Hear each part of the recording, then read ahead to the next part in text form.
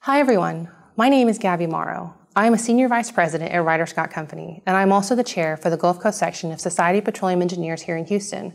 I'm really excited to be a part of the upcoming panel discussion for the Houston Geological Society regarding the state of private equity in oil and gas. What's unique about this panel is that none of us are actually geoscientists.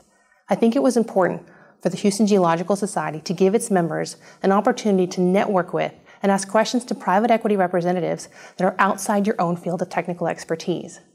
I myself am a reserves auditor, and my background is in engineering. I specialize in creating reserve cash flows. Whether you are buying or selling oil and gas assets, pretty much every deal starts with a reserves cash flow. Investors want to know what amount of oil and gas volumes you are going to get out of the ground and sell, and then also the profit you can expect to make off of those volumes. All of that information comes out of the reserves cash flow.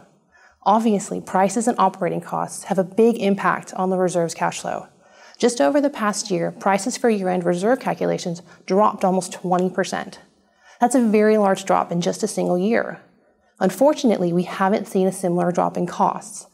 Prices have been mainly hovering between 45 and $65 a barrel since the beginning of 2015. And even in the heightened geopolitical state we are currently in with Iran in the Middle East, it only reached $70 a barrel for a very short period of time. So, where's the best place to make money right now?